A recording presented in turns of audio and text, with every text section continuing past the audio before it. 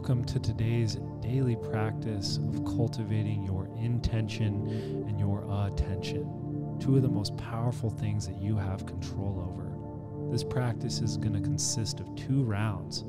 The first round, deep breaths in, in and out of the mouth, pulling the breath all the way down into your belly, into your sides, into your low back.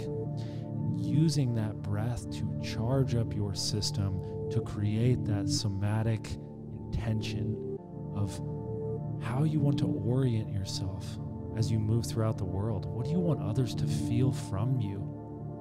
And for the second round, we're going to slow it down. We're going to go in and out of the nose using elongated exhales, starting to calm our nervous system and focus our attention. Energy flows where attention goes world where our attention is constantly being fought over, it is one of the most powerful things that we have control over. Your intention is your anchor point. Use the breath to charge yourself up and cultivate the elevated emotions and the felt sensations inside of your body. And then vocalize that energy and put it into your attention. Where do you want to put this energy? You get to decide.